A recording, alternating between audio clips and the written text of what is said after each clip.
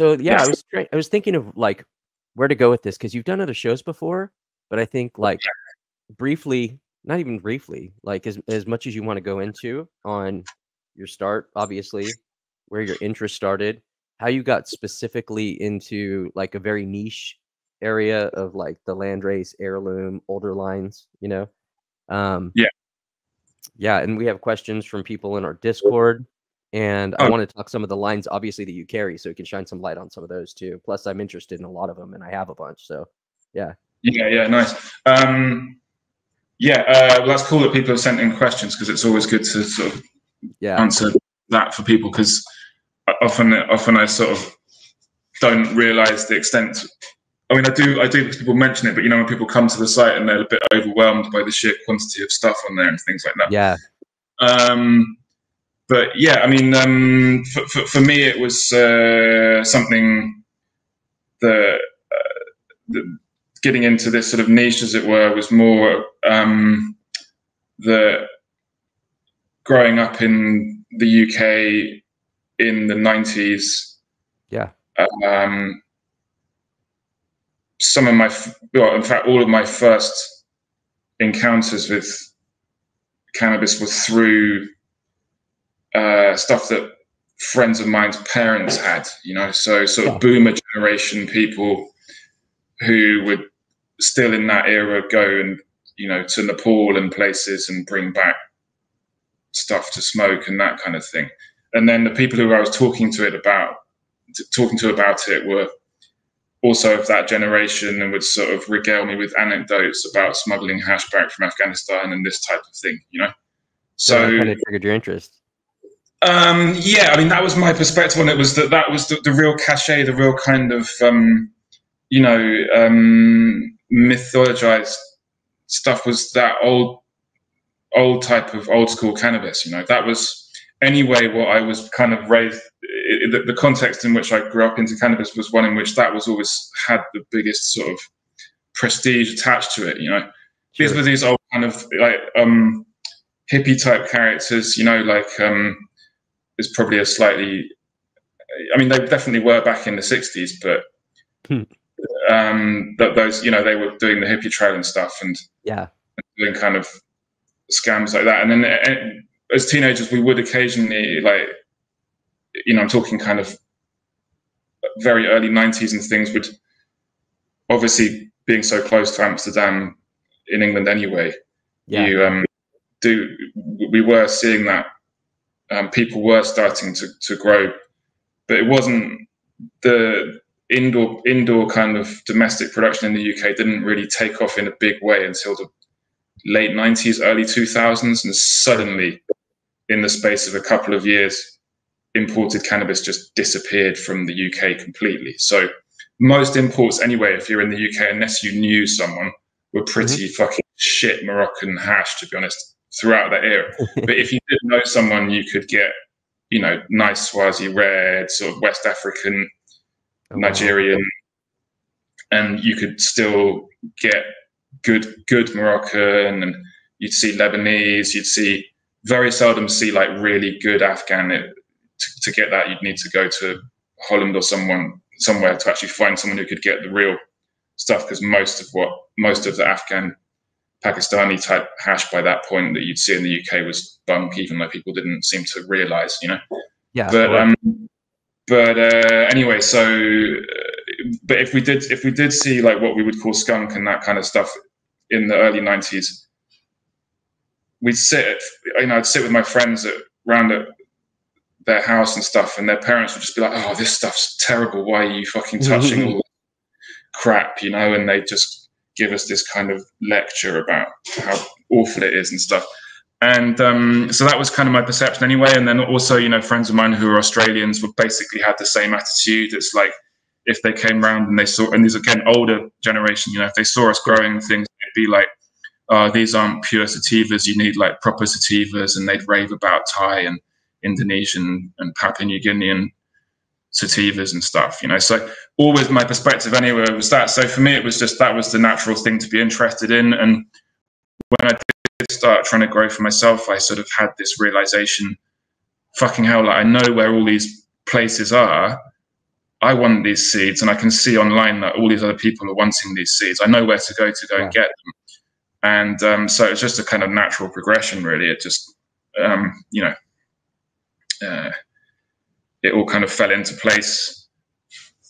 Um, that takes that takes yeah. connections, like to to track down like legitimate stuff, and and you seem to be a, quite a well-read historian of cannabis, and um, yeah, I can't imagine the links that you've had to go to to to even to, to bring out a lot of this old stuff and a lot of the the landrace stuff as well. Um, I would say it's sort of partly become possible because of spending enough time in these places that um, you get to know people and they trust you enough, you know. Yeah, but it, yeah, absolutely. Sort of, um, uh, it, it really varies though because some some bits of some bits of the um, of Asia anyway. It, it's not really that you need particularly to have connections. You just need to know where the places are. You know. Yeah. So, um, you know, you can you can go to this as long as you know where the places are. In a lot of in a lot of the more Central Asian parts, it's actually quite a lot easier because it's it's really the tropics where it's more tricky because there's no reason to have seeds in the tropics other yeah. than to grow sinsemilla. You know, it's not like they're food or something like in Nepal. Some of the landrace types, anyway, are, are, as much as anything, are cultivated for the seeds. You know. Yeah. So there are some areas where, and, and the same actually is kind of true in in even in um, uh, the Hindu Kush. You know, is the seeds are a winter food source as well. So you could. Oh, no shit. Yeah, yeah, yeah. People, this is a really overlooked uh, thing, actually. Like even amongst the yeah. experts, people seem to realize that cannabis is a multi-purpose crop in all of the northern areas, like including Afghanistan and the Hindu Kush. The only bit where it's not a multi-purpose crop is in the tropical areas where where it's ganja, which is sinsemilla, semi-sensi, whatever you want to call it. Yeah. That's the only where it's a single purpose crop. It is only grown for producing the buds, you know? I guess um, that makes where, sense too with the hash, with the hash production and stuff, because they could still collect the hash and harvest the seeds. Yeah, yeah. So, you know, um, sometimes it like, um, I've read people like David Watson, Sam Skunkman saying, yeah. you know, oh, we tried really hard to um, persuade the Afghans to like grow the crop as sinsemilla, and like they just mm-hmm. actually just weren't interested. And there's a pretty good reason for that, which is that actually the seeds are in, a very important winter food source. They're very high in, you know, important fats yeah. and proteins as well, and, and in, particularly in the mountains, that's really necessary because obviously you can't keep like huge herds of animals very easily in, in the mountains. You can have a few cows and goats and stuff, but it's not like um, there's a there's a there's a huge demand for land and water and everything in in, the, in, in any mountain area, and uh, so you know if you can have that extra source of protein and fats, it's it's pretty essential actually. You know, I would Especially think like some of the eastern places would be super hard to uh, make those connections, especially nowadays. Um, I remember hearing even Neville's story back with um, I think Clive. I think that's what he goes by um, when they went to, I think it was Afghanistan, and one of them OD'd in a hut, and they were, you know, trying to kick in their door and whatnot. That was that's how the story went, anyways. So I can only imagine how crazy it is to try to get inroads in there nowadays with the political climate. Um, I mean, one thing one thing I'd pick up on first is just in terms of thinking about the geography of cannabis. Um, Afghanistan, I think if you if you want to have a kind of clear, uh, or just because I think it's really helpful, you know, with with everything is like context is everything, and and Absolutely. for cannabis, it's really good to get the geographical and cultural context kind of on a basic kind of map in your mind, as it were. And sure. I would say Afghanistan is best thought of as like southern Central Asia. So Central Asia rather than the Middle East is how I would okay. talk about it in this terms because it's um, that's the really central, you know, in what we call indicas in the sort of loose sense, colloquial sense, yeah. are a Central Asian domesticate basically, and, and uh, So Afghanistan is really sort of the southern edge of Central Asia, and um, rather than the Middle East, I think if you is it is Middle East is slightly more sort of confusing. It is kind of confusing term, yeah. yeah, because um, you know it connects Afghanistan really sort of connects in a cannabis sense with Xinjiang and places like that, which is Eastern Central Asia. Yeah. Bukhara is sort of really, you know, Central Central Asia, as it were, and, and those are all historically very connected, important cannabis centers in terms of the sort of indica type yeah uh, races. Um, but yeah, going to those places. Um, yeah, I mean it's been it's been increasingly difficult, um, especially with the uh, Taliban being allowed to kind of yeah. retake the entire place and stuff. But um, yeah, and you know there is also yeah the fact that other definitely one thing I found going to those bits of the world is that the the culture of kind of opium and stuff does um, mix with the cannabis culture quite a lot. Yeah. And I definitely met characters who were having problems with things like, you know, harder substances like heroin and things. Yeah. But um the yeah, I mean it's there's there's various ways to do these things. I mean, some of the people who were helping us for a while were were were, were stringers for for media um, and journalism. In fact, all of the people I know who are sort of from these places who were, were, were, were working as stringers and uh, which means sort of helping um, you know journalists and media companies who, who want to make productions in those areas to, to meet the people find the right places doing that oh, kind of job. And then they would um, just have a sideline in, in like helping collect seeds for us basically you know?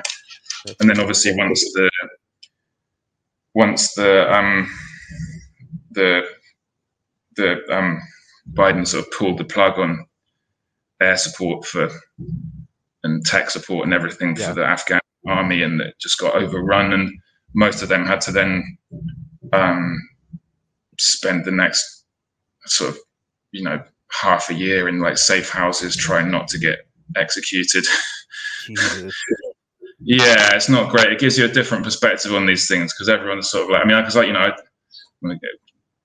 detour too far into politics, but I, I sort of thought the whole that whole um, post 9-11 adventure was just completely misguided. But it's like once they've actually committed to it, to then just suddenly fucking turn around and say, actually, you know what, fuck that, we're just going to leave and not even tell you. Yeah, was yeah just a just an ex- astonishing fucking betrayal. But everyone yeah. was expecting it, so it's America, um, man. That's what they do.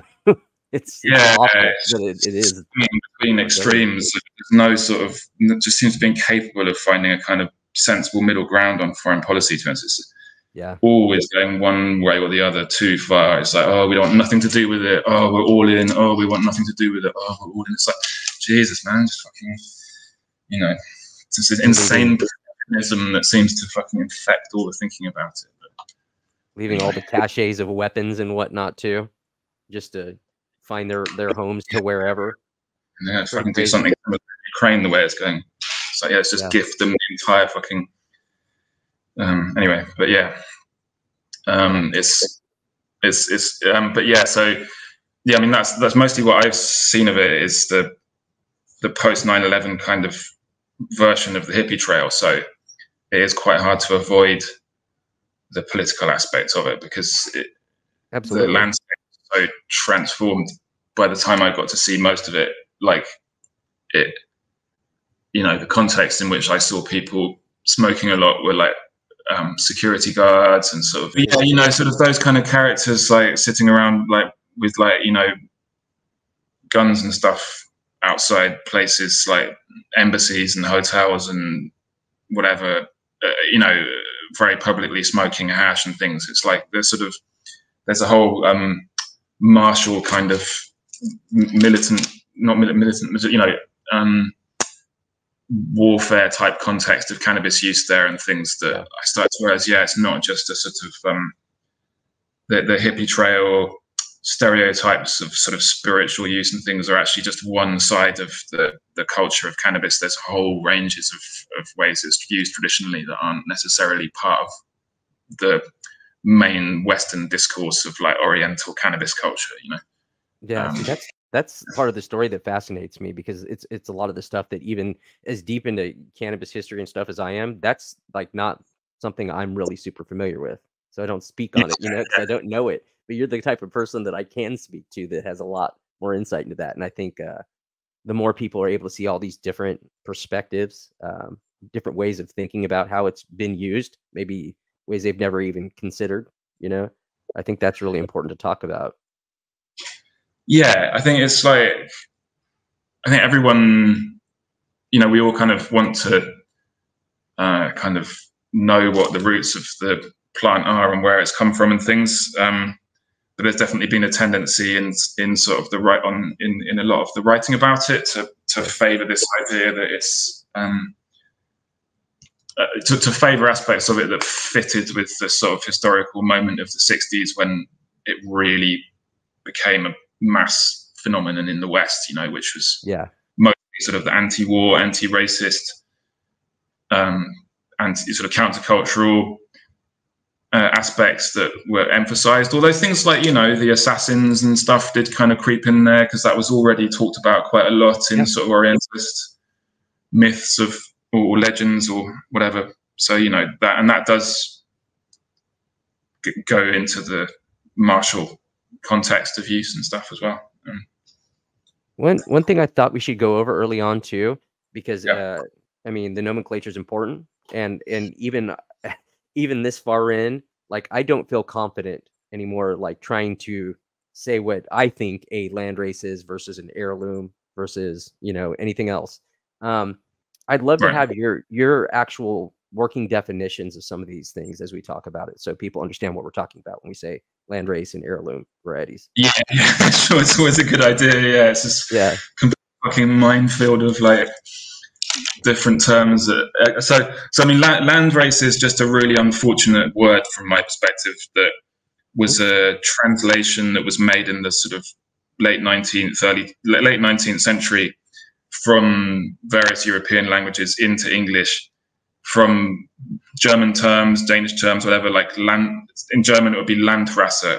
That was translated okay. into English as land race um, whereas actually, if you were to do that translation these days, land race would be best translated as country breed or something like that. Oh, so it's yeah, so it's a defunct form of the word race that we just don't use anymore.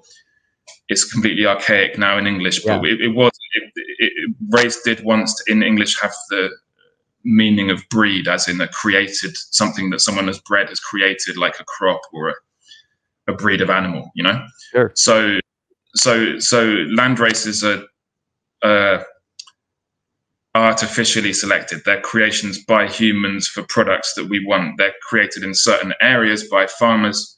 So they, they have a, an element of region being region specific and culture, but they're culture specific and they're absolutely creatures of human desire and whatever. So they're, they're things that farmers have created for certain products. So all land races are product specific. So the um, tropical land races are, are, specific for, and we're talking drug, quote, you know, air quotes, drug cannabis yeah. here. So tropical land races from places like India, Southeast Asia are all specifically for uh, slash semi-sensi, as in ganja is the traditional term for this. Like it's the seedless inflorescences, or, or you know very lightly seeded yeah uh, it should be like that and then that product goes back to at least the 15th century perhaps as early as the 12th century in india you can find sanskrit literature that describes that technique of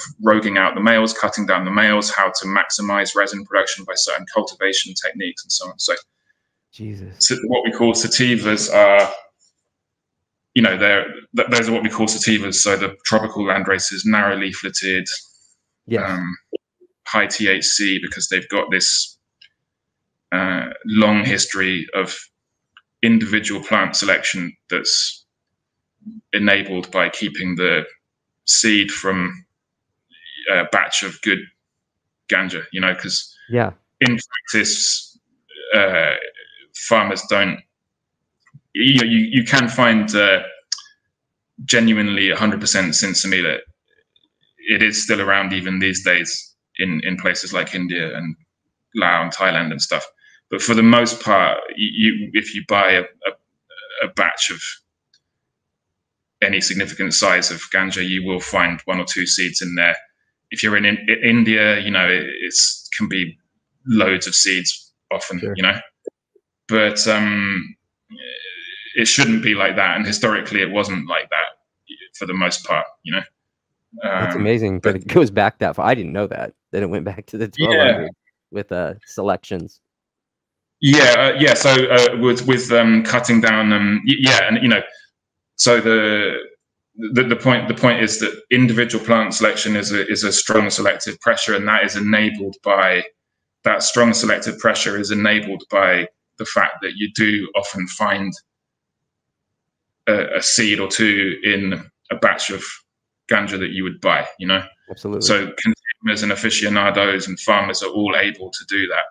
So consciously or unconsciously, you've got at least 500 years of individual plant selection being a factor in the creation of sativas, which is why, as any kind of aficionado knows, they are the strongest forms of land races: Thai, Lao, Burmese, South Indian, like Kerala. Uh, all these types of plants are what went in to form the real kind of original haze yeah. type sativas that people know in the states. And you know, back in the late 60s, early 70s, this was literally fetching multiples its weight in gold in terms of price by the time it got from from Thailand to the west coast of the United States. And it was the same in in England. So if you look at the customs seizures records from the early 70s for, for, for cannabis that was coming from places like Isan in Thailand. It was like they were, it was testing, you know, with thin layer chromatography, but which is not hugely accurate, but it was testing kind of 17% THC. Yeah. And that's when they're not gaming the tests. And it's probably sat in a warehouse in London right. or for months, never mind how long it took to get to England in the first place, you know? Yeah so yeah, I mean, we're talking high levels of potency. So people aren't making it up when they say that this stuff could blow your head off. You know, yeah, even sure. in the 60s and 70s. And to be honest, doesn't you don't need much more than 10% THC anyway. A lot of it's about the uh, other stuff that's in this in these uh, the other phytochemicals that are in these plants. Absolutely. Anyway, to to stay focused. So there's this, those are the sativas, and then the, in the north, the main group is what people call colloquially indicas, which are the, you know, I guess everyone knows what I'm talking about, broadly speaking. But that, again, this is a type of landrace that, um, you know, with the more semi-dwarf morphology used for making hash. So product specific. There's no culture of sinsemilla in north of 30 degrees latitude. So once you've got to the north of Pakistan, there just is no. In fact, in fact, once you've even got to the Punjab in India or the Punjab in Pakistan, it's bisected mm-hmm. by colonialism. The um, once you've got there, there's no culture of sinsemilla by the time you even get to the Punjab. Once you've gone north of the Punjab towards the foothills of the Hindu Kush, absolutely no sinsemilla culture at all. It's all hash, and uh, it's always been that way. So when you make hash, you pull the seeds yeah. in the process of making the hash. So there just there's not ever been been much in the way of an, any individual plant selection on hash land races. So mm-hmm. they're a bulk selected crop that probably goes back millennia, perhaps. Mm-hmm. Um, that bulk selection, which is why, on balance, the the um, the the cannabinoid um, uh, characteristics of, of, of, of, indica land races do sort of lean slightly towards THC dominant um, plants, like type 1 plants, as people will call it. But you do have in the population a mix of type 1, type 2, type 3.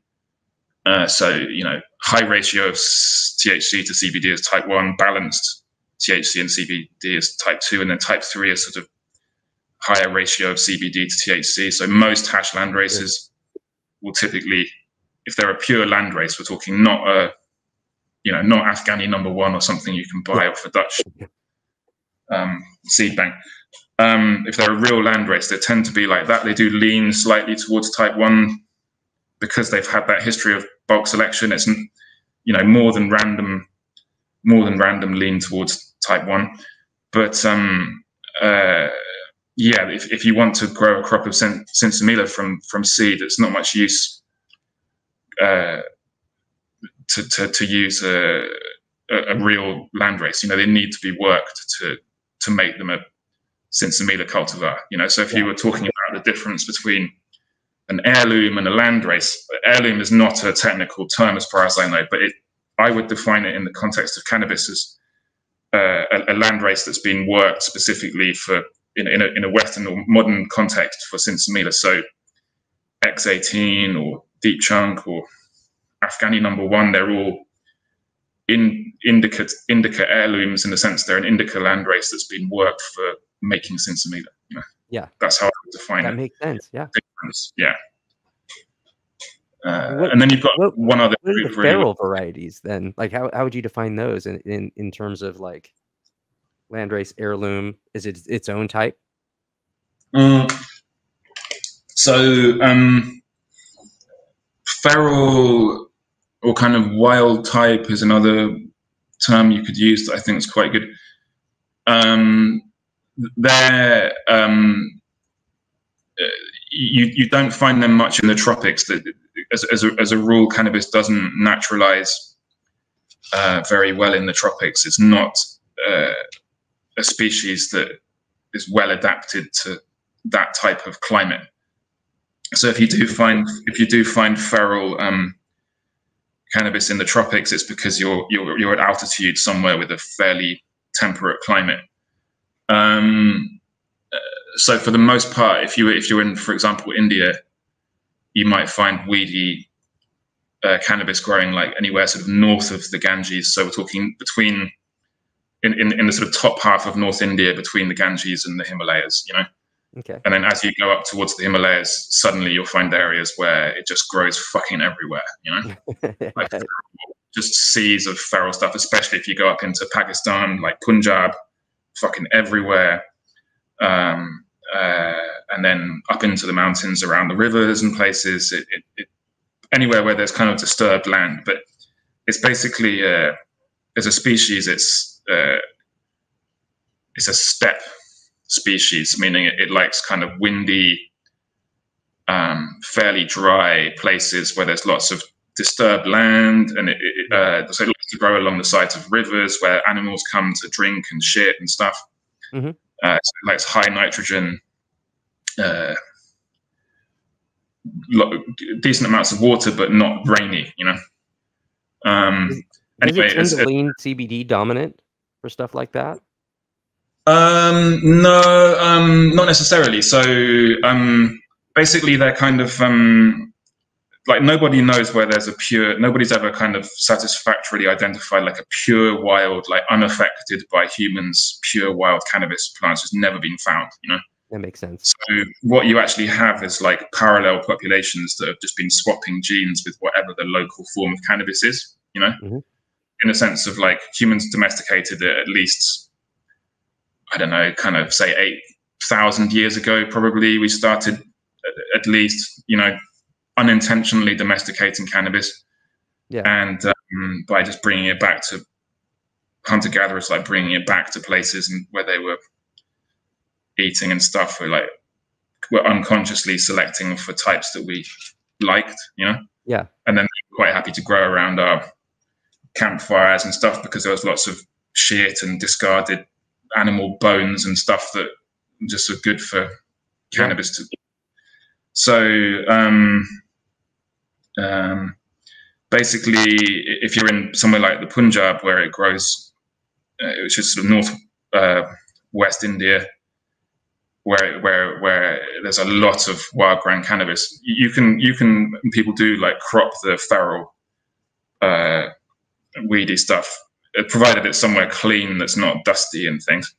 You can just crop that and um, use it for making food and things. You know. Yeah. So these are high, high THC um, in in the sense of uh, they will get you stoned. You know, it's it, yeah. It, it's not like in um, places like I don't know Wisconsin or somewhere in the states where it's yeah. it's basically hemp that's gone feral. You know. Yeah, the fiber hemp varieties.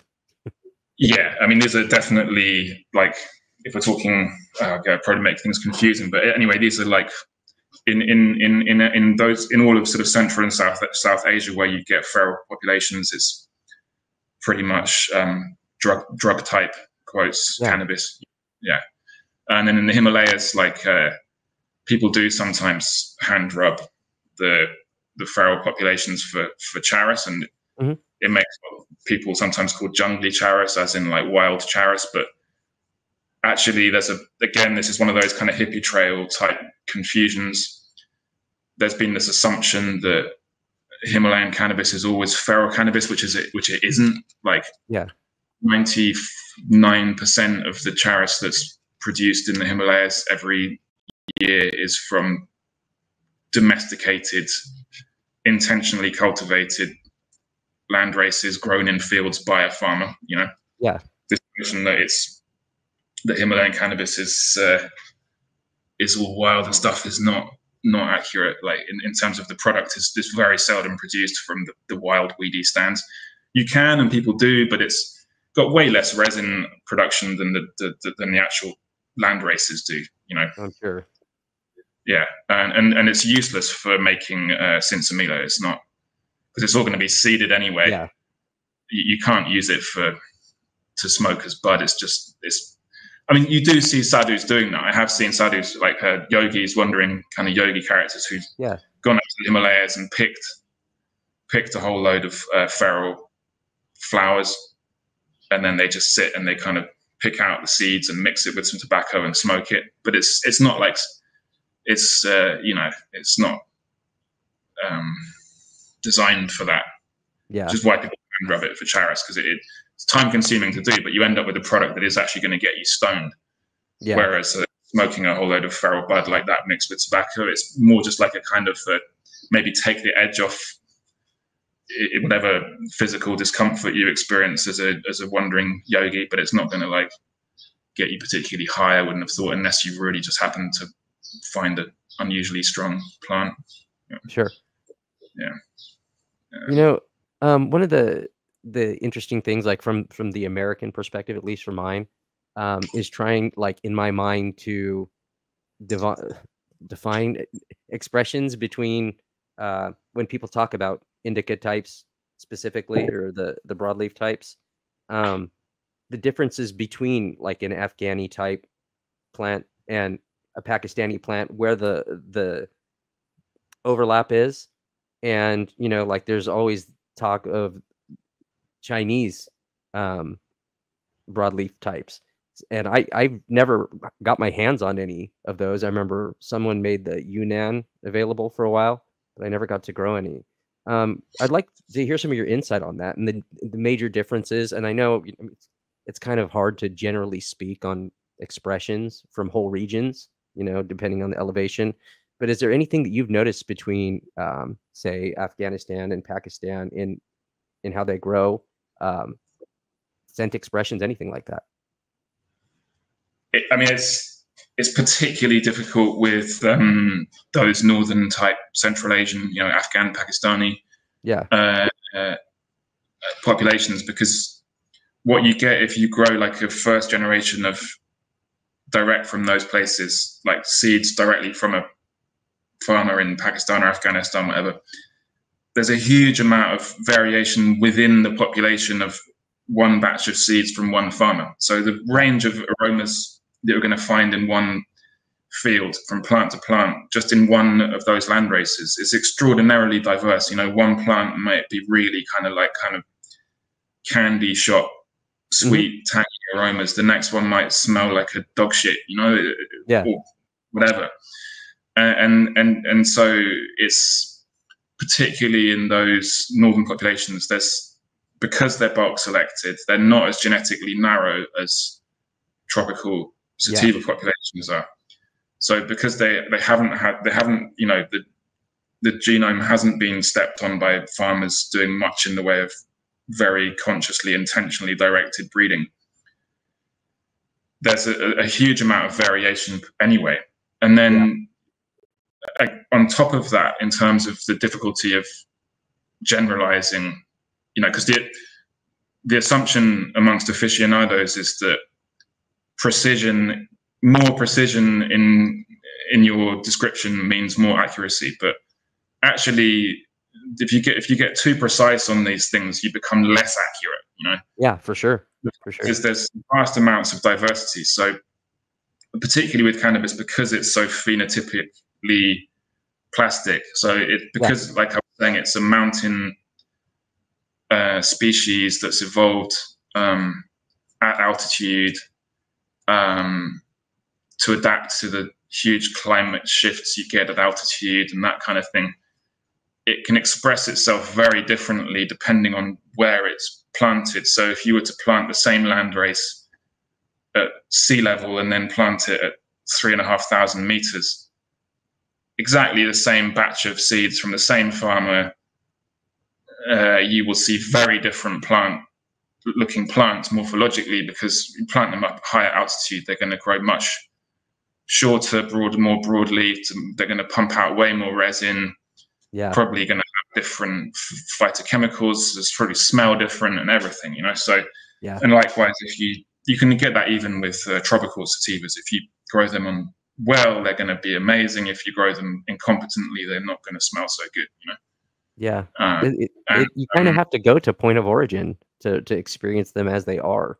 Yeah, uh, yeah. I mean, it definitely makes a vast difference, even with the more genetically narrow populations like tropical sativas, if they're grown well by someone who knows how to do it on the right type of land with the right irrigation timing, the right feeding timing, the right, uh, you know, everything. If you overwater a tropical sativa late in flower, it's going to keep growing, keep putting out buds and leaflets, and it's going to be shit.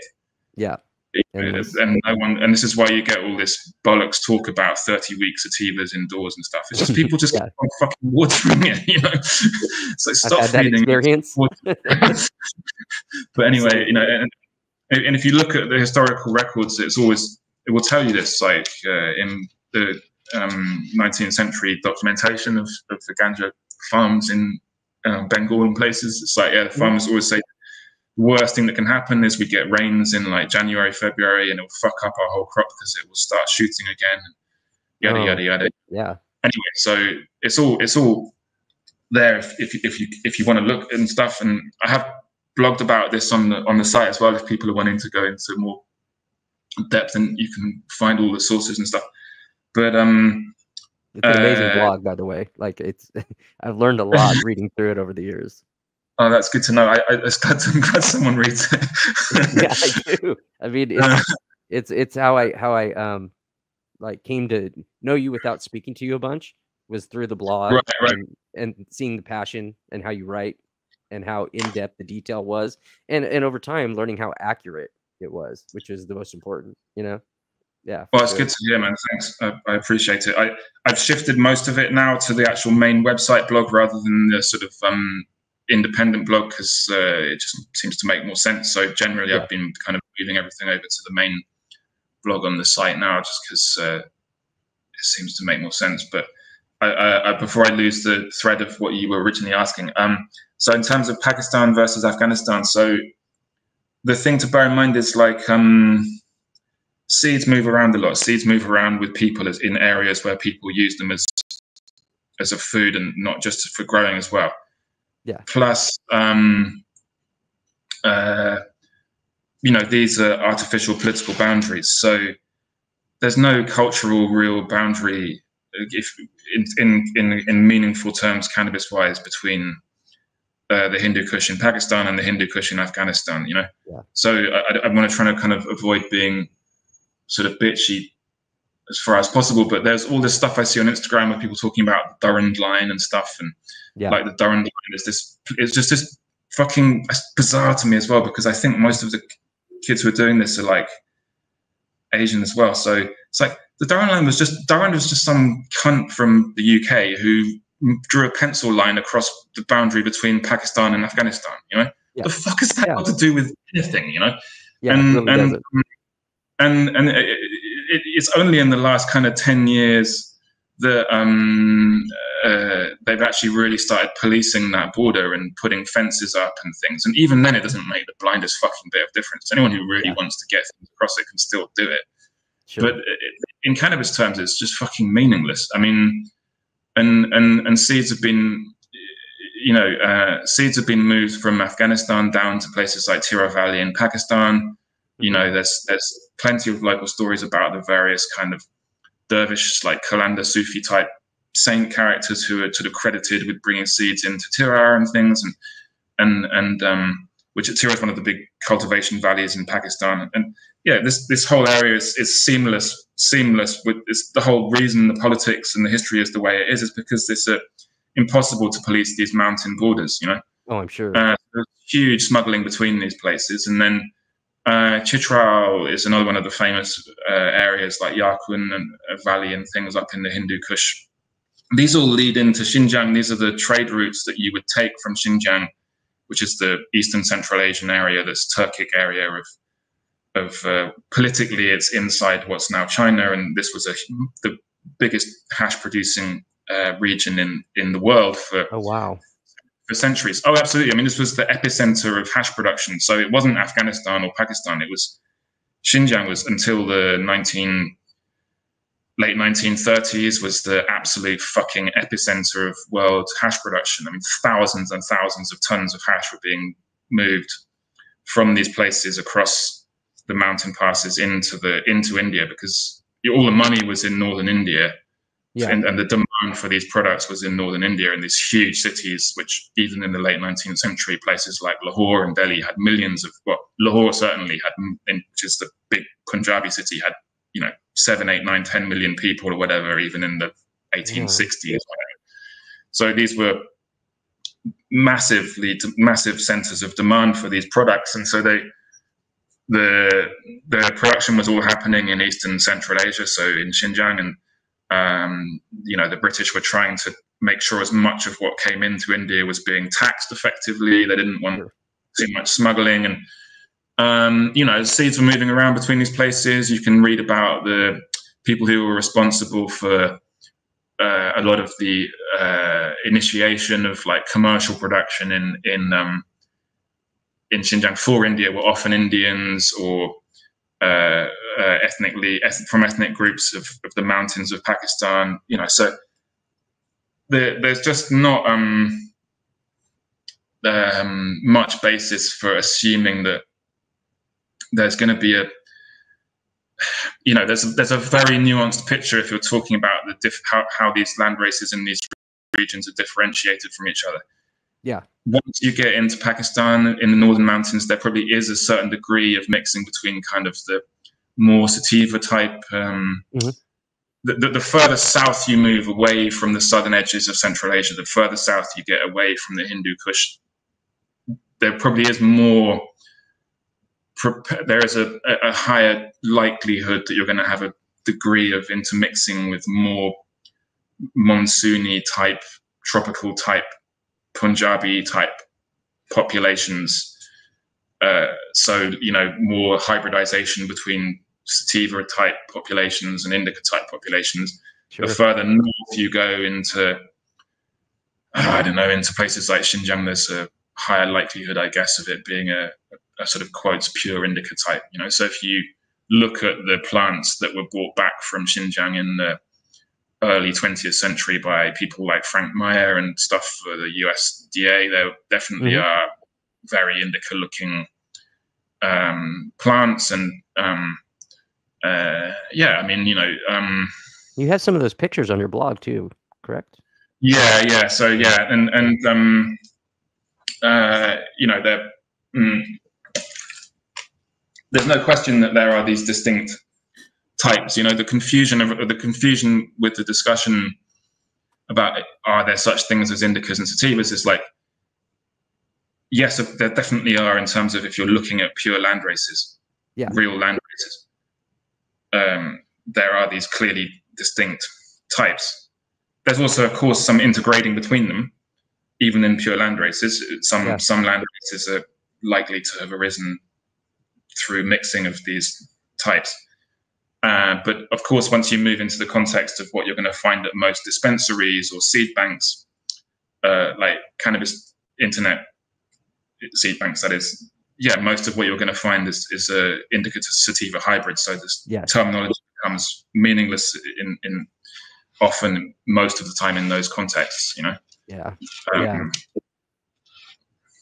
Uh, but yeah, and then the important point too, like especially uh, from people that in in the U.S. that can go to collectives and stuff, and they're seeing indica, hybrid, sativa, and they feel like they have a pretty good working knowledge of what what each is. And um, quite often, I mean, I don't really see anything too narrow leaf anywhere, you know, or no, yeah, not at all. It's a, it's a problem because um, um, that's how cannabis goes extinct. You know, yeah. biodiversity in cannabis primarily disappears through hybridization. You know, yeah. So uh, this impulse that most people have to like hybridize everything when they because it is fun, you know, it's like see what oh, happens. Oh, sure. Yeah.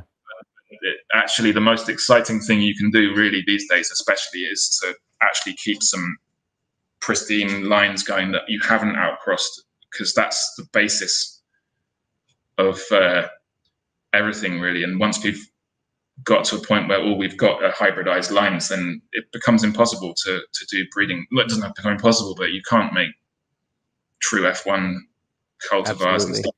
Yeah.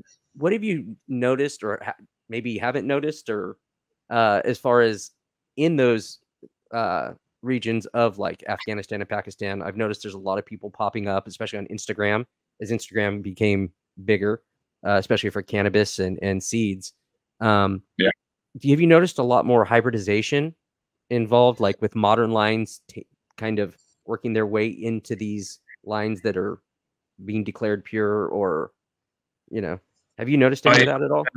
I Sort of don't. Um, I generally try and like just ignore most of the the sort of people doing those things. Yeah. Um, like every every couple of years, I'll sort of maybe get curious about what they might be saying, and it's always. I mean, the thing is, I don't like. Uh, I, I don't really know what they're up to. Uh, for the most part, um, it worries me because I suspect most of them, based on what I've heard, um, have been involved in also bringing hybrid seed over to places as well. You know. Yep. Yeah. I can't substantiate that beyond some forum things I saw in like 2018 the, when there was suddenly there was a 2018ish there was this sort of big yes. realization among some of these characters that um oh we can get seeds from these places.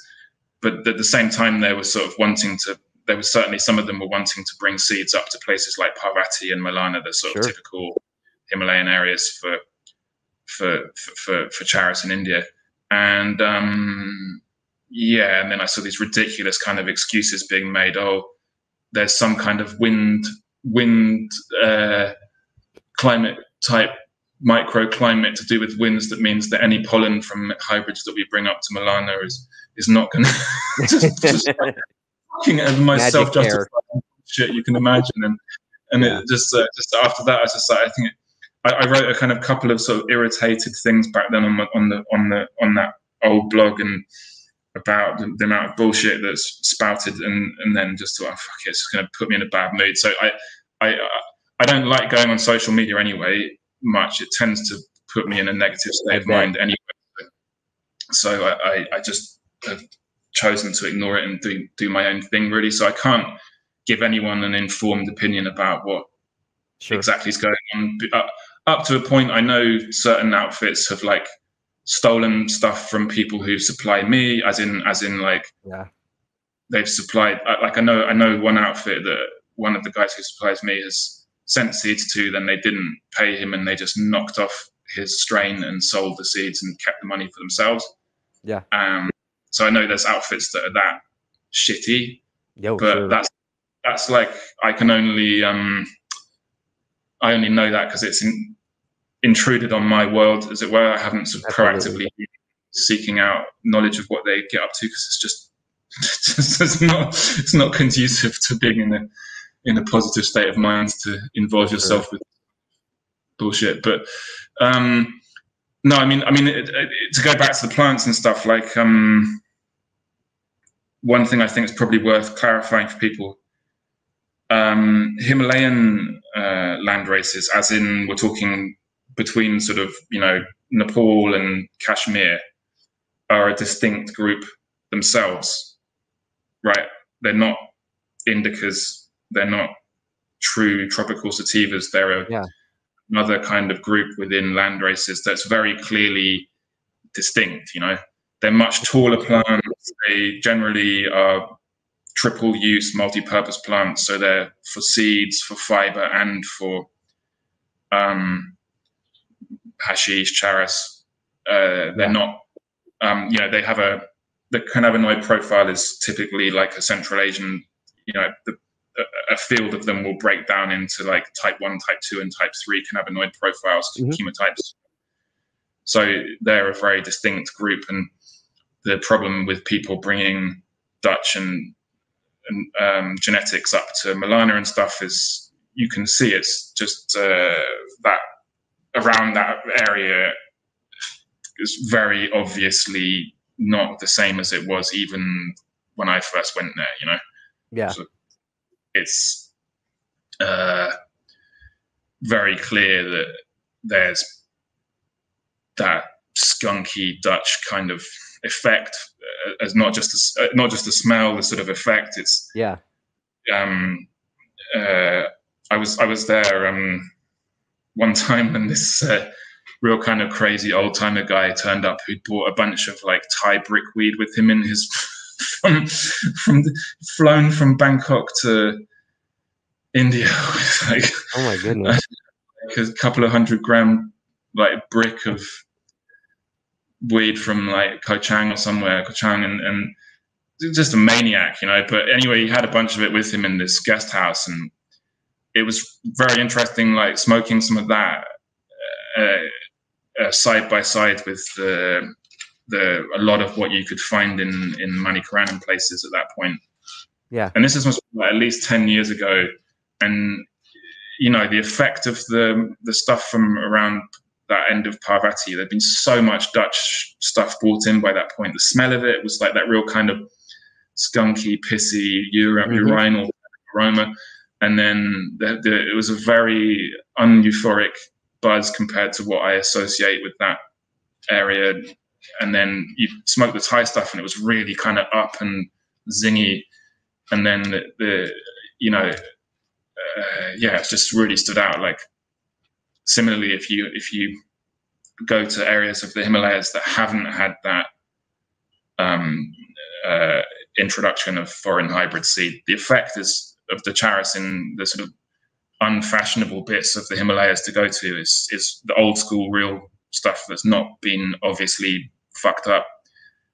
The effect of it's much nicer, you know. It's like yeah, much more uplifting and positive uh, feeling. You know, it's uh, there's there's rarely something with skunk one in it that I can smoke because it always takes me to a very specific like negative space in my head. So usually I can pick it out uh, it's taken mm-hmm. a long time, but I can pretty much like yeah pick out anything that has skunk one in it. There's very few exceptions that I find something I love. You know that has that in it. At least you know fifty yeah. percent. Yeah.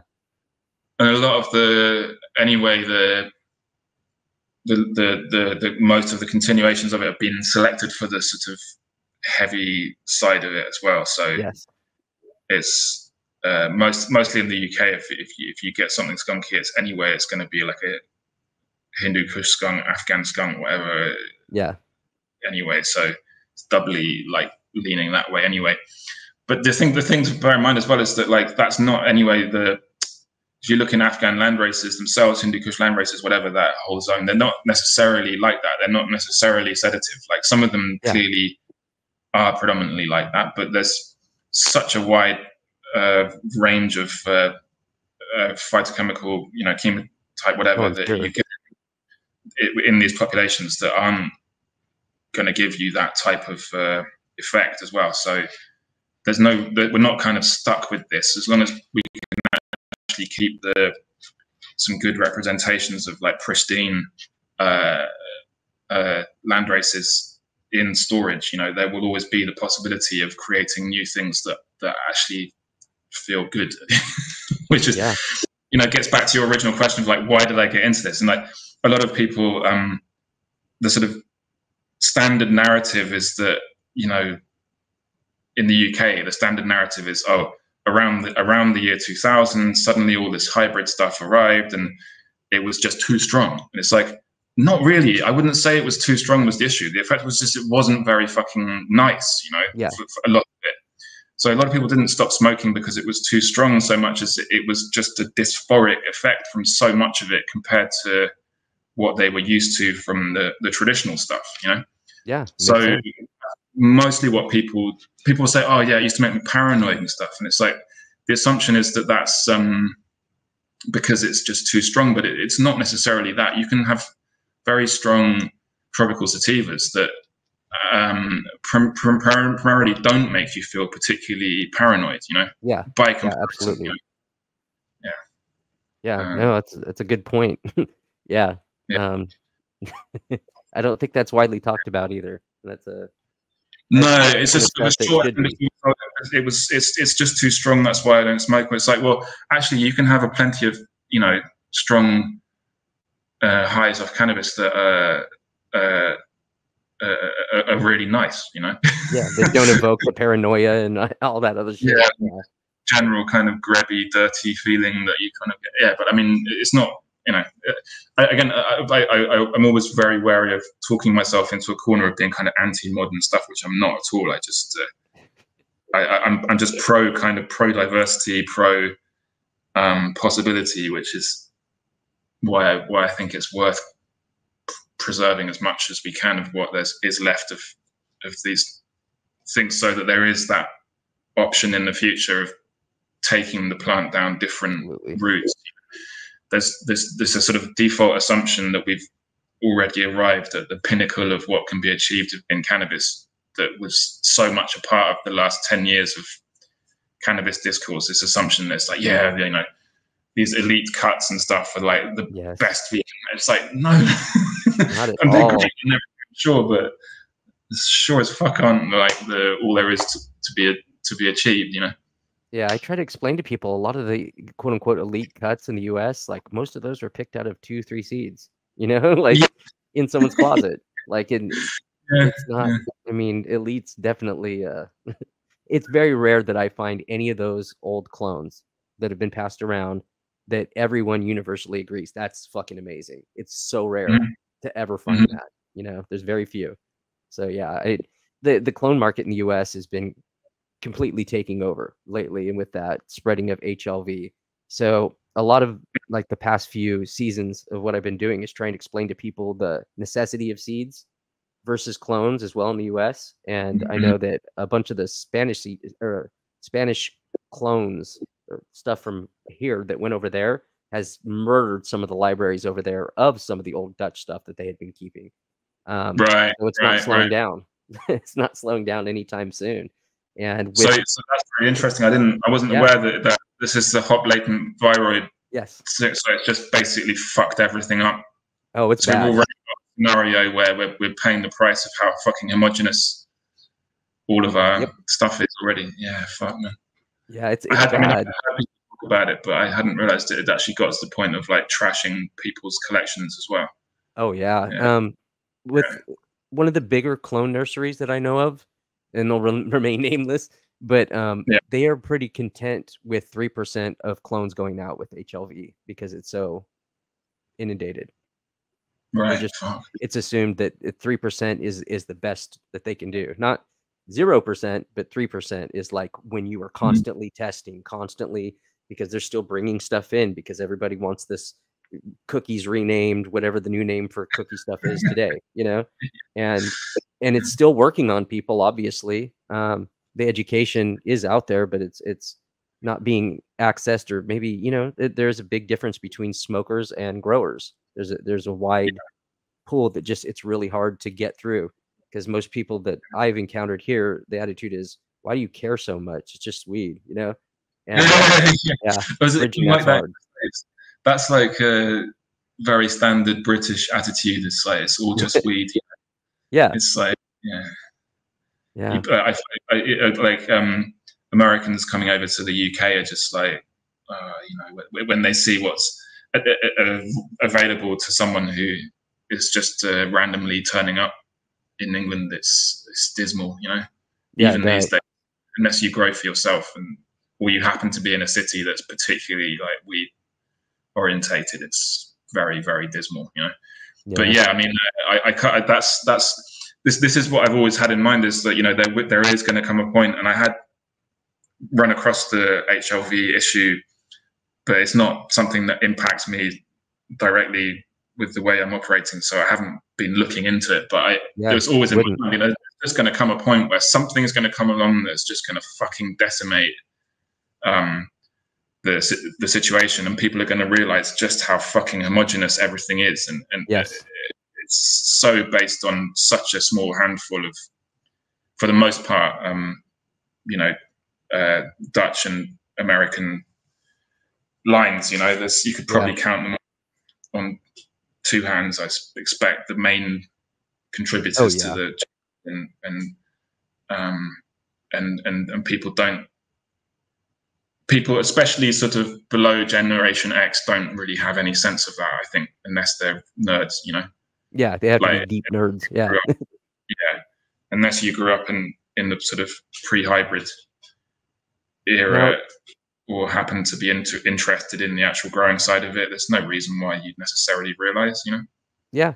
It, sure. It's one of the problems as well um, with uh, uh, groups who are doing collecting is a lot of them I, I can tell are not from an age, uh, from a generation where they're necessarily even going to know um, what a pure land race looks like in Thailand or Cambodia or whatever.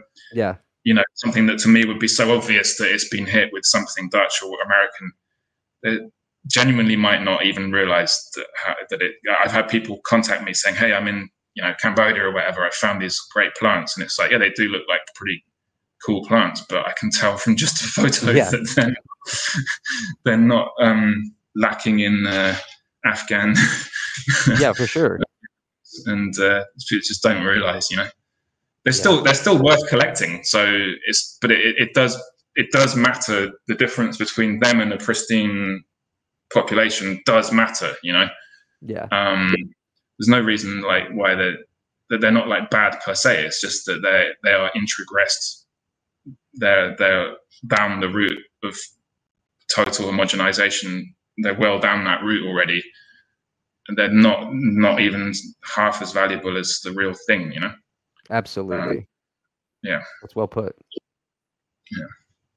So uh, you have a lot of experience with uh, I, I maybe Southeast Asian is correct with uh, and Laos. I've I've heard you know some of the stories that uh, it was Laotian farmers bringing down stuff to Thailand. Is um, is there any veracity to that or?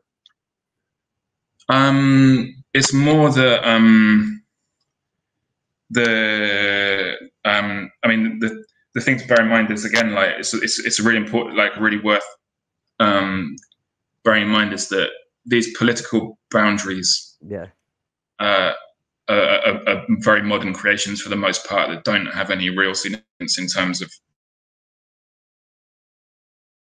and the culture of the plant so anyway if you picture the if you picture the the Mekong kind of running from up in sort of the east of Tibet down into Southeast Asia from you know through the Golden Triangle and down through yeah. Thailand and Laos down towards Cambodia.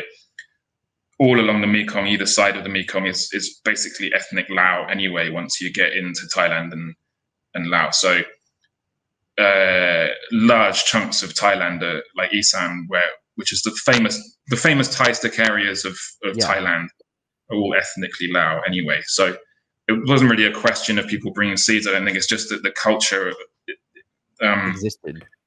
Yeah, and um, if you look at the early historical uh, writing, insofar as there is any in um, Thailand about cannabis, um, I think there's some from the sort of 18th century or 19th. I think more 19th century. Some of the earliest references that I've seen people find found uh, to ganja and cannabis in Thai literature. It the, the the the Thai writers are very much emphasizing that this is a Lao thing. So this was in the context. One of the really early references is in the context of a kind of historical epic, uh, which is uh, about the uh, huge war between the Lao uh, kingdom and the Thais that happened. Um, basically, I think it was 1830s, maybe. I got it. I don't quote me on the dates, but not super long ago. But anyway, um, the Lao kingdom's got quite expansionists uh, under a guy called Chao Anouvong, I think it was.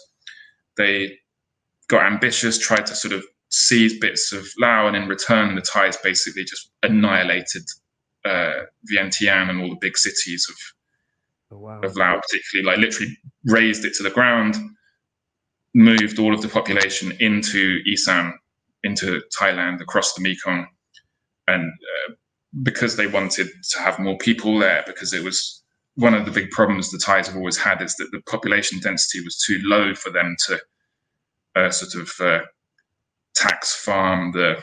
They, they wanted more people there to tax, basically. Yeah, it makes sense for, for the state to to grow, and um, yeah, so it was a kind of um, the, the reason there's a very big Lao population in Isan is is partly artificial, basically. So it's a lot of people moved, and um, the um, the the culture from a very early. The, all the indications are is that the ca- cannabis is associated in Thai culture with uh, rural um, populations, particularly ethnic Lao populations, mm-hmm. and there's a very very strong uh, status association in the in uh, Thai culture is very very status conscious. Like it's worse than the English or any kind of snobby culture yeah. you can choose.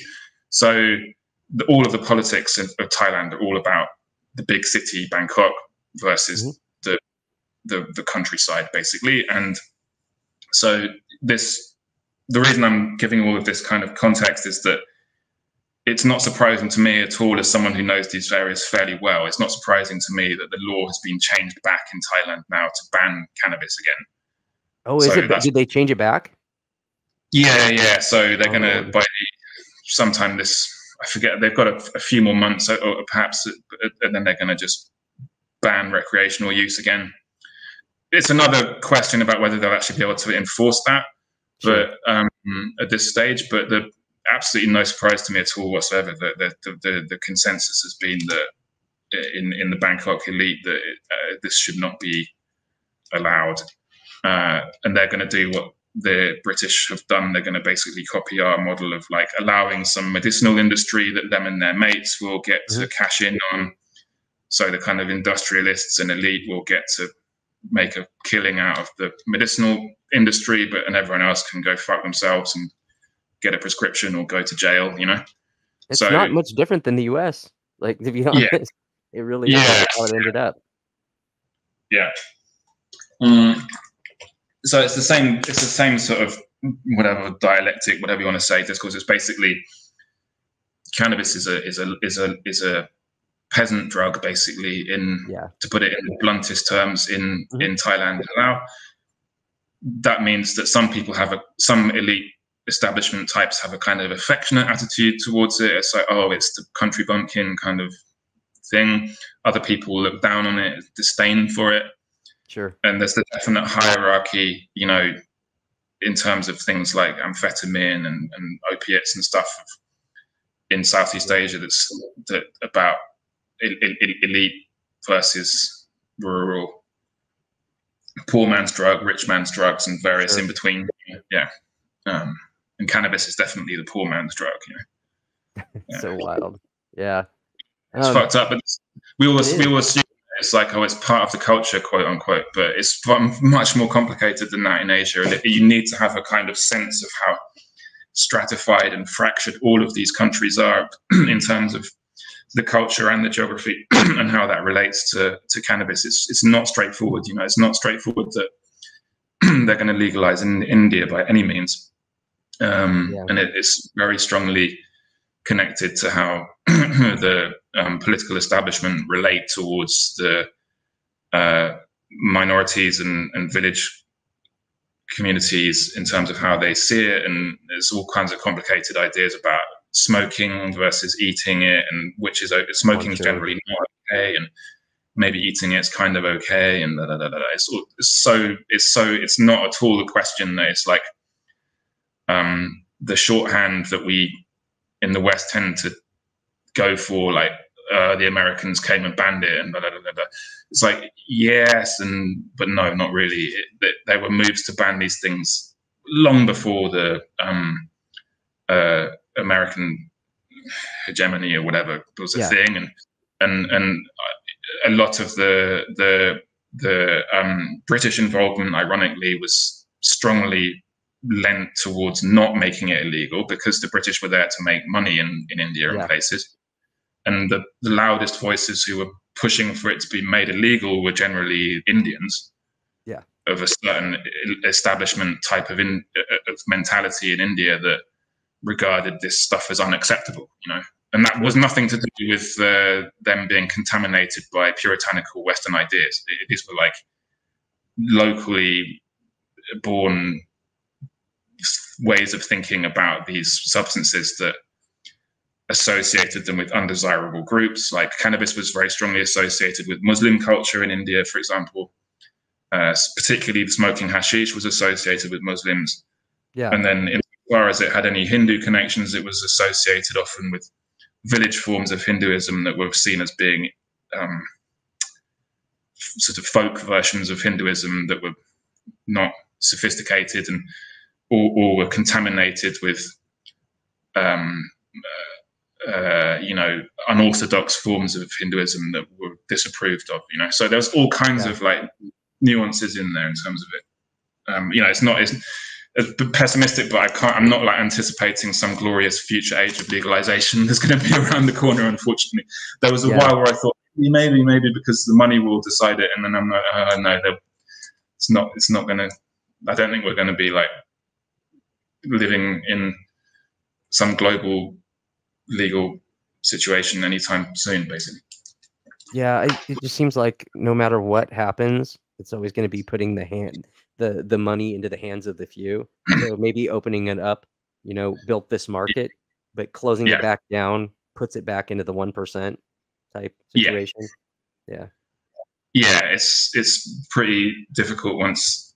Yeah, basically, I think so. And once it's been once you've got a prohibition scenario, like extricating yourself from that, you know, it's not straightforward, especially when there's such a strong plutocratic sort of oligarchical yeah. tendency in in in our dysfunctional democracies these days. It's like when you combine that with how difficult it is to have a sensible discussion about these types of topics in the in the media these days, it's uh, it's yeah, it's it's very tricky, you know.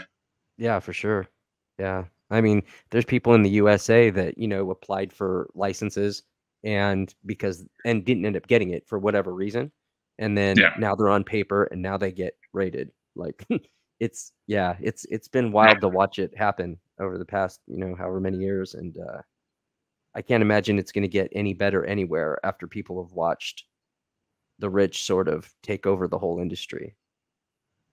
Yes, I mean, I, I don't know, like, um, I, I, I was very sort of not optimistic, but I was kind of cautiously optimistic that, like, even if it wasn't for the right reasons, we might end up with legalization. Sure. Um, because, uh, you know, and, and, and the, the quirks of the political system in the states where you can have these sort of referenda and stuff, referendums in places like Oregon or whatever that mm-hmm. we don't have anything like that in the UK equivalent to that. So I was sort of watching somewhat enviously and thinking, yeah, well, it's only a matter of time before you've got federal legalization. And I noticed Harris has been saying she's going to do that and things. Who knows? You know, I mean, maybe they will, but it does require like some courage on the part of um, people in power to actually do what they know. I mean, all it, talk to any of these people, they will know what they should do, and but they'll always do sort of some sort of half-hearted fudge in the end.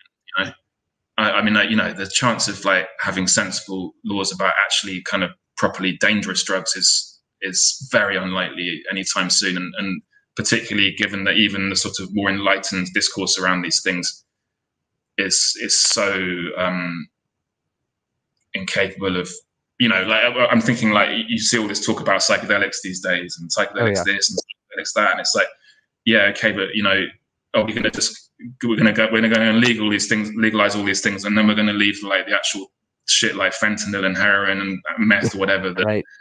actually is really where you need to change the law yeah uh, if you're actually concerned about not having all these people dying and stuff uh, but yeah it's like uh, you know um, cannabis exceptionalism psychedelic exceptionalism and all this stuff is like uh, is a whole is a whole other conversation. But um, I don't see it's going to feature anytime soon in the sort of any any any any serious discussions, basically. You know, I, I just recently learned that in Oregon, um, because someone got busted there, um, seeds, seed sales and stuff is is a serious felony if you if you're not like you know fully legal with paperwork and everything. And they, yeah, dude went to jail, still in there. Yeah, I, right. it kind of blew my mind because when I think of Oregon, like when I visited, um, it's it's very open cannabis wise, much more open than where I'm at in California. Mm-hmm. Obviously, like I, am right. in like a red yeah, area. I'm not up to speed, but yeah, it like it it, it seemed pretty. I don't know, normalized there, but uh, the seeds, if you're not legal, you know, you don't have all yeah. your paperwork in, it's a lot huh. more serious penalties. Uh, I no idea. In my mind. Yeah. Yeah, it's very tricky. It's so sort of so like um, there's such a big grey area with all of this stuff. It's uh, you know in the UK itself, totally uncontrolled in terms of moving the seeds in and out of the country. Yeah, it's not. There's zero regulation on it, like literally none. You know. Yeah, it's uh, um, as in to to leave the borders of the UK and come into the UK. You know. Sure. But it, obviously, for the destination countries, this becomes infinitely more complicated. But absolutely, it's it's, it's so um it's it's so uh, it's so so sort of surreal. The, the, this is the thing, though. I mean, and I, I, I tend to repeat myself, so just steer me onto something else if I'm getting boring. Sure, go ahead. The, the weird thing is with the, the UK is it's not historically actually been a country that has tended to to, to prohibit stuff. You know. Yeah. Like uh, narco colonialism was one of the most controversial aspects of our history in terms of things like opium and and all of that. So yeah, the colonial history, imperialist history of the UK was drugs were a huge part of it. The the elite discourse of this establishment figures, you know, sort of liberal, old school liberal kind of 19th yeah. century, 18th century liberals, for the most part, just like insofar as they knew about these things, just didn't give a fuck. It was like, well, that's something they do there.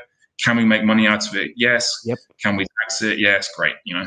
Yeah. Exactly. no, subject. You know. And then um, in in in the UK itself, like uh, you know, heroin was available on prescription as late as the the 19, 19 late 1960s. You know, you could so still. Wild. Yeah. Yeah, and and um, it was regarded as a as a uh, opiate addiction was a medical thing. The, the, notion that it should even be considered criminal was completely just anathema to the whole yeah. way it was dealt with. You know, um, so you know, people like William Burroughs and all these kind of beat type characters would come to the UK and stuff. You know, because it oh, was oh, yeah. so because it was such a common sense culture towards these things. You know. Yeah. But then I obviously went like off the rails dramatically by the 70s. Uh, yeah. And um, partly for actually kind of historical reasons, not necessarily to do with America per se, but it was, you know, largely sort of American led. The the the move towards a more aggressive pro- prohibitionist stance.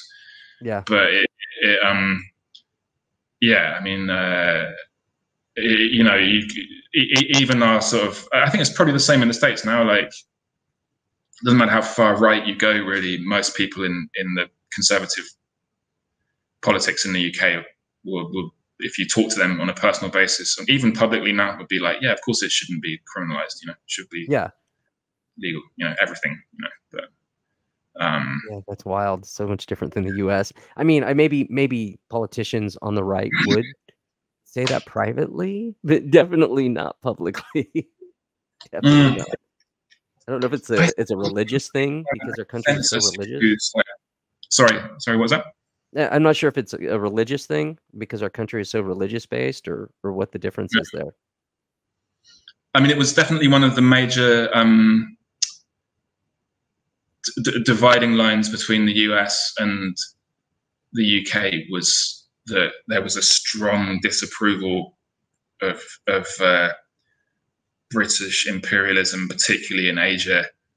Yeah, you know, in World War II, the Americans were just very openly like, why the fuck should we even be helping you guys keep control of your colonies? You know, ignoring the yeah. hypocrisy of the Philippines and whatever. But but um, the attitude was that, uh, and and and and and it was. Uh, even before then, at the League of Nations, when the first kind of international attempts at prohibition happened, we're talking kind of 1920s and stuff um, it was the Americans and the Egyptians who led the move to kind of include cannabis on all of the um, anti-opiate laws, which were the real driver of the first attempt to like internationally prohibit drugs through the League of Nations, pre-UN type idea.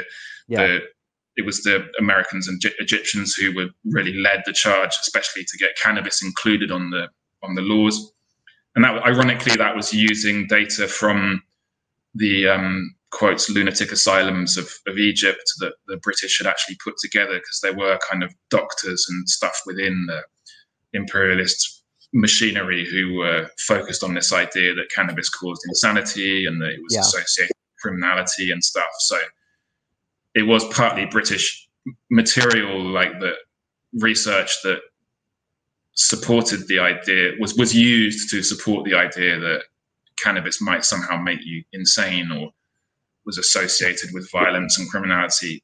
Yeah. Basically, because the British, even though they didn't want to ban these things in, in India, were were still quite happy to use the association between cannabis and like marginal groups. You know, groups of men hanging out on the street in, in parks and in urban centers, like laborers and stuff, smoking cannabis. Oh, what are you doing? Uh, you know, they were quite happy to kind of police these groups using um, or you know to, to, control these groups using cannabis you know so some kind of radical dervish gets conscripted into some army unit and is causing problems in the barracks so he smokes hash he's insane put him in the yeah. lunatic asylum you know what i mean so they were still using it was still exploiting it to control undesirable people you know yeah so there yeah. was this kind of paper trail associating cannabis with um, mental illness that was used as early as the 1920s to to kind of shoehorn cannabis into the anti-opium opium laws. Um, wild. Yeah. I could but dig yes. into this with you forever, but I, I definitely want to make sure that we go over some of what you have in stock because. Oh, yeah, yeah sure, yeah, please, yeah, yeah, yeah. I mean, yeah, the I, I'd love to have you on, you know, whenever you have more time too, because I like I said, there each one of these topics, like you you could really open it up and talk about it forever. And this is uh, what fascinates me. Uh, it's, oh, it's stuff I know least about. yeah, fire, fire, away, like because it, it's better if you sure. if you give me some questions so that I don't just drift back onto stuff that some people would have heard me talk about before. So, yeah. so the um, let's start with uh, the, one of the ones I had experience with was from uh, the Highland Thai Burmese, I think it was called when it was first released. Yeah. That one's I thought that was an amazing like uh plant that could be done well indoor. I don't know how it would compare to, you know, point of origin, but it could be done well indoor in the USA. Um, what can you tell me about that line? Um, so that um, has been through a couple of like ex situ maintenance grows now. Um, mm-hmm. So it's gonna. I and I haven't directly been involved with that since I originally collected the seeds. So any there may have been inevitably going to have been some possible shifts in w- what it actually is now, just from the fact that you know we can't do more than like double digits sure. in terms of plant numbers of maintaining it realistically. So um,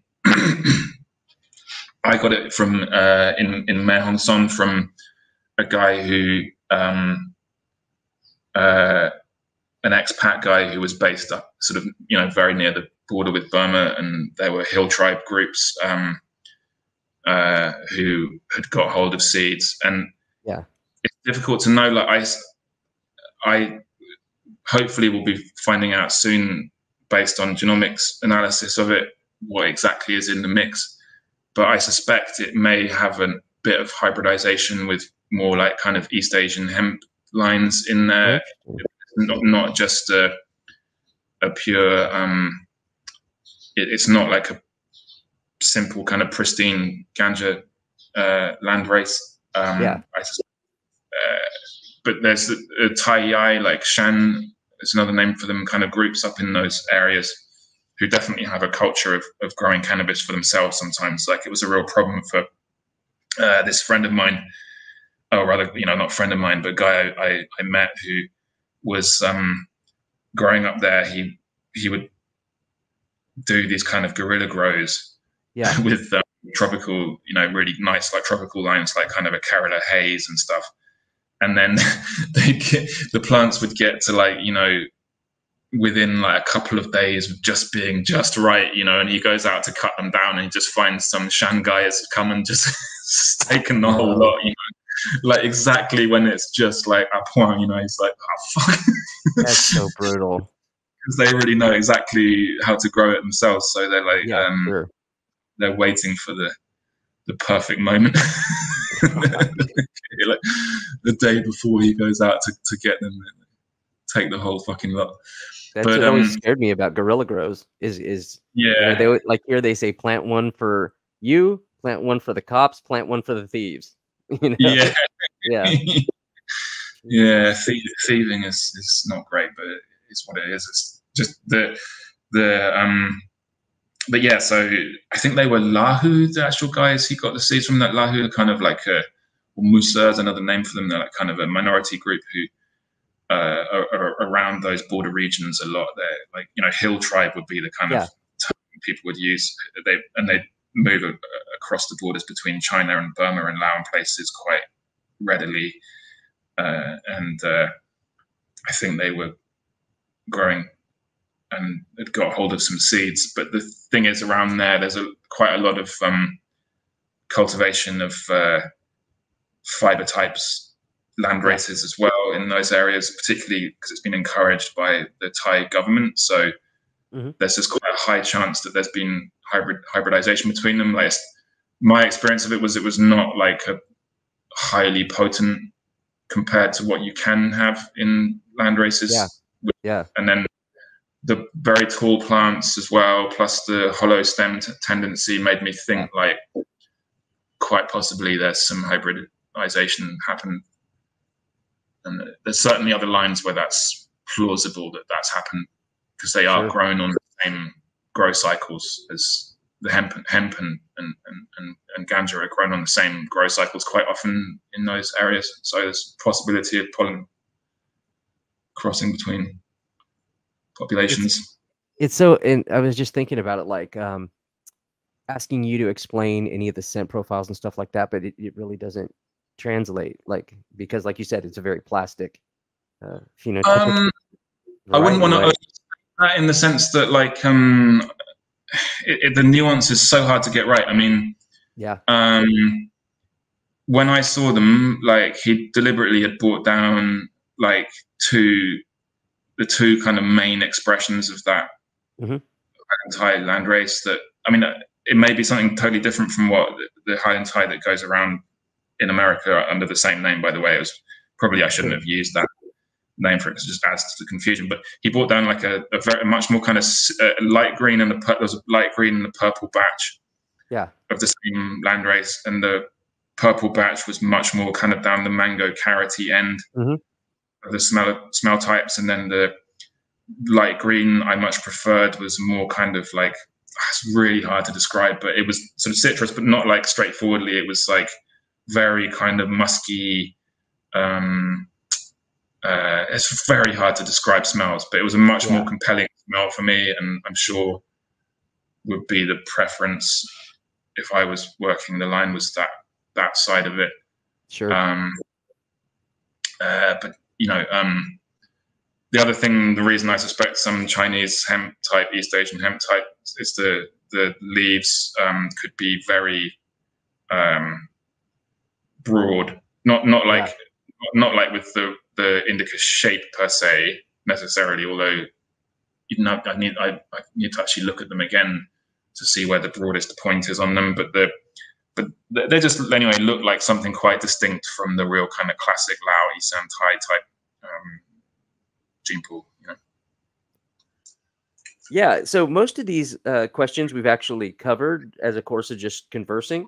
Um, yeah. There's one. I mean, like almost all of them we covered just by conversing. Right. But one one that I think will be probably the most asked question you'd probably when you get a lot is from a uh, hmm. CCC, and he asked how to keep pure, well, pure, relatively pure uh, sativas manageable indoors. Do you have any advice on that?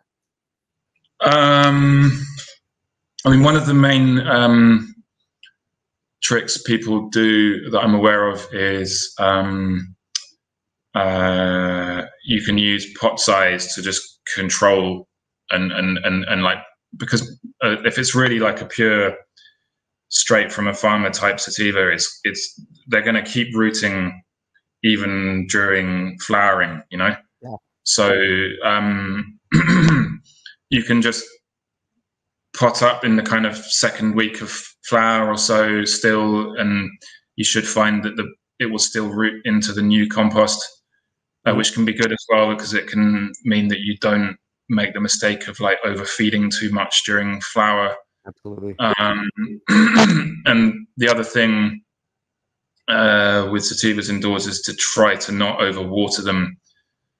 Like it's a really important aspect of of traditional farming of, of ganja, you know, sinsemilla, or whatever, is uh, the right irrigation schedule. So even these days, um, the good quality uh, production in places like Laos and stuff is in areas where they've got access to lakes or ponds or streams to irrigate on schedule rather than just allowing rain fed um, yeah, you know, uh, dictated. Rain.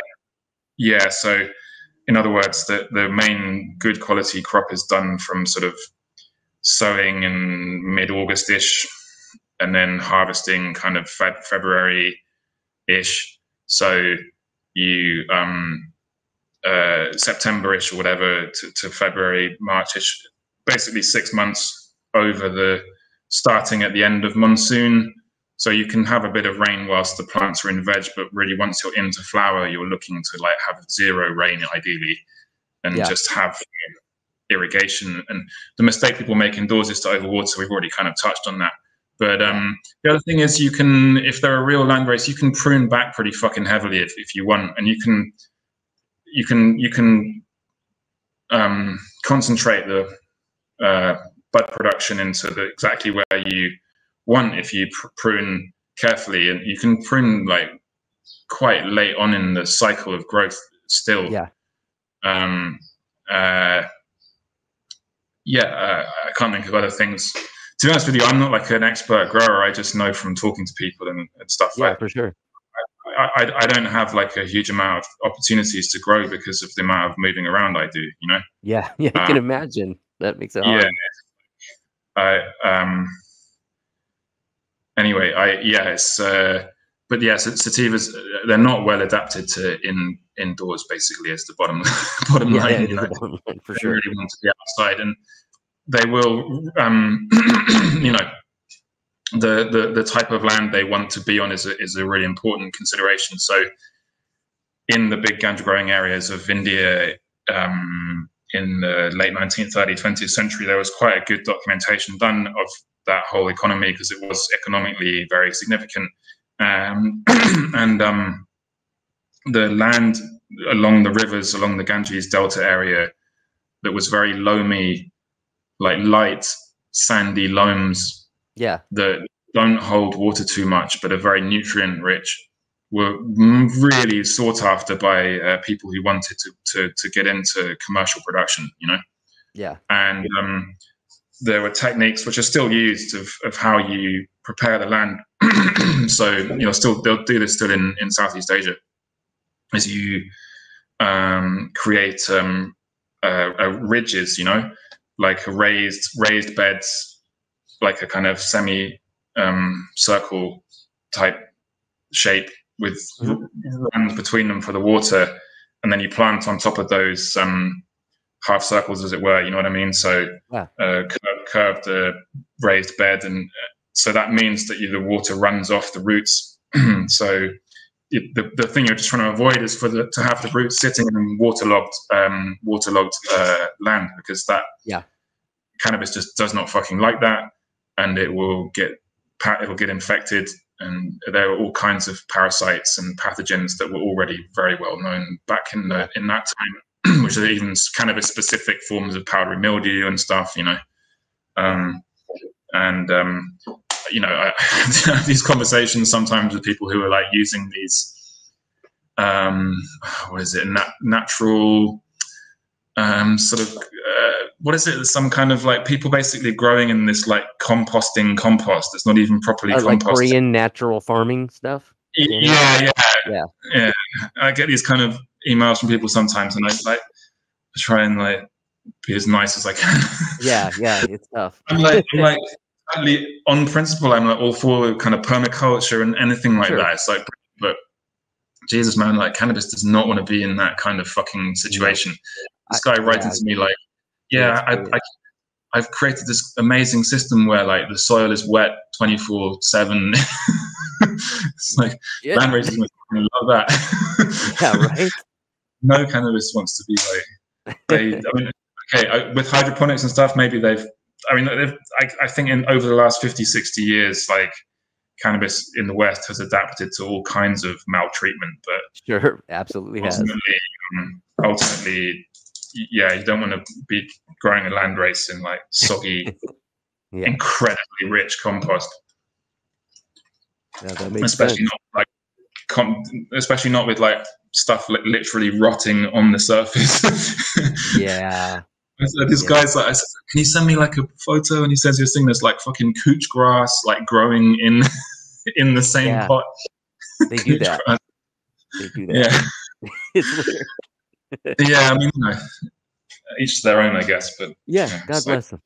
if someone's asking my opinion, I, I feel I should just tell them like, no.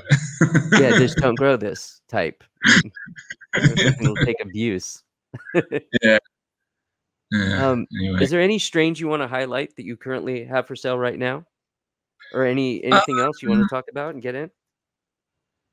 I mean, I'm really interested. Like, uh, and you can. Um, we collected a bunch of stuff from Orissa, which is sort of just south of, of Bengal. Okay. Uh, which I suspect is um, uh, quite um, historically significant um, in terms of the development of um, of sativas, like real tropical sinsemilla land races. Uh, you know, we were talking about there's that um, book, the or kind of uh, alchemical. It's an alchemical book, actually. The Anandakanda is the name of it, um, mm-hmm. where they describe the Sinsemilla technique. That's from around there, kind of Andhra Pradesh, uh, Orissa area was where that was probably compiled. And um, I suspect those plants are pretty interesting uh, to look at. Uh, they seem to be yeah. like probably more like five months from seed to harvest. Uh, the ones we've got, and um, also, um, yeah, and and then um, planning to have some Nepali um, uh, ganja land races available soon as well, which I think will be pretty interesting. I mean, yeah. just in terms of product stuff, like I'm a big fan of the Southeast Asians, but the because of the aromas and stuff, and I think there's been a lot of hybridity between possibly like independent centers of domestication south of Yunnan with the the East Indian uh, centers of domestication. I, I, don't know. This is just a hunch, but um, anyway, I think these uh, actual South Asian land races, like from Orissa and Andhra Pradesh and um, the Terai regions of Nepal, are, are, worth checking out. So we've got already uh, some, like Dakshin Kali is the name of the one from Nepal that we've got that's kind of, uh, uh, you could say, like been domesticated. It definitely has been domesticated for use as bud, not just as hash. Yeah. And then the one is very much specifically for bud. And um, both of them I think would be really interesting to look at. Really nice aromas from them too, as well. You know, yeah. Um, and types of effect are really good, like very stimulating and positive. Um, it sounds freaking awesome. to be honest, yeah. Yeah, I'm quite keen to see what the genomics work discovers about them because my hunch is they're probably that uh, East India, Nepal, and East India are kind of where sativas really originate first. We'll see. Yeah. yeah. that's so fascinating. I can't wait to see that all work out. Um, where where should people go to buy your seeds? Uh, what's the website? Um, therealseedcompany.com and then for the for the modern stuff is kwikseeds.com. It's a stupid name, but it's like what I I'd originally K-W-I-K? Yeah. yeah. I'd originally planned it as like a budget thing. I was just going to buy a bunch of like cheapo Dutch seeds and sell it on there, and like, oh, fuck it, I'm just don't want to get into the, big business stuff, and so it's kind yeah. of just at speed. But um, yeah, that's where we've for the time being anyway. All the all the kind of really interesting '90s material we've got, and some other um, there's like some later '90s things like uh, Cinderella '99, Amnesia. Yep uh, which is really good, very strong as well if you're looking for like strong, uh, really strong stuff. And then some Colombian, um, um, uh, like a Colombian import that's probably like a Northern Lights crossed with a Colombian land race, then crossed with some like um, um, uh, heirloom Colombian and Mexican things, all kinds of things yeah. like that you can find there, and a whole bunch of just like kind of fun hybrids with things like uh, Pakistan Chitral Kush crossed with like some land races, which would be great, like for just making hash and stuff, and or, for oh, bud, absolutely. you know, yeah, and and very uh, nice prices for most of it. Yeah, um, yeah, just uh, yeah, fun stuff to play with if you've got the space and things. Any yeah. any way uh, you'd prefer to be contacted to if people want to reach out to you? Yeah, sure. I, I, generally, um, if you want a quick response, like uh, the um, Gmail, re- realseedco at Gmail is best. Uh, you can contact me on Instagram as well, but I sometimes I'm not on there. Like I, I, I may not get back to you as quickly, and I sometimes yeah. miss the um, miss the uh, incoming messages. You know, yeah. like I yeah. forget to check the request bit sometimes. So yeah, always to, to, to, to use this use the site contact form or, or just email me directly and, and, and that I should get back to you within like two three days max you know awesome well I gotta say I'd love to have you back sometime when uh, time allows for you it, has been an I, absolute I, pleasure yeah I, and and and um, I've really enjoyed it and it's very kind of you to give me the space to just ramble. I, I, am slightly fucking burned out and a bit like uh, sleep deprived. I always seem to be when I do these podcasts, but um, maybe when I'm back in the UK, we can do another one at a more civilized. Well, it's kind of a civilized hour now, but I'm just not a civilized person, so I've not been, not been getting out of bed before. Like, anyway, but uh, yeah. So anyway, it's been it's been good though. Yeah, thanks, man. I've enjoyed it. I, I, appreciate your time, my friend, and um, I'll talk to you soon. This is going to air Friday, and uh, yeah, nice. people are going to be stoked. People are really going to dig it. I'll probably cut it into two or three parts. Yeah, yeah, nice one. Yeah, yeah, yeah. yeah. Oh, great. Cool. I'll keep you posted on it. And and again, thank you for your time. And um, yeah, it's an honor. I really appreciate yeah, it. Thank you. Yeah, likewise. All right, brother. I'll talk to you soon. Yeah, cool. So is, is that that's um that's that is it? Like uh, Yeah. A wrap. yeah. And send me the um everything over like and I'll as soon as you've got it all going and Oh, I'll, absolutely. yeah. And it It says and it'll on- premiere live, and there'll be people in chat. There's usually over a hundred something people that'll watch it live. Oh, it nice usually gets a few thousand views in the first two days. Awesome. Yeah. Yeah, yeah, nice. It does okay. Yeah, just uh and and so it'll go on YouTube and, everything. Yep. Yeah. Okay. Yeah, yeah. So I'll put it on the site as well and, and that'll be great. I appreciate yeah, that. Nice one. All right, my friend. right. Thank you so much, and thank you. Like seriously, thank you for your time. I know it's hard to. No, no, it. it's a pleasure. Like I can, I like, I can talk at length about this whenever. So I it's, uh, it. Yeah, it's uh, always, always. I appreciate it. Nice one, man. Well, have a have a lovely evening, and, and I hope You it's too, a bit more chilled than it's been over the last few weeks. Yeah, that sounds finally in a smooth spot. Yeah. Yeah. well, enjoy, enjoy. All right, Right. my friend. I'll talk to you soon. Yeah, nice one. Cheers. Cool. Bye bye.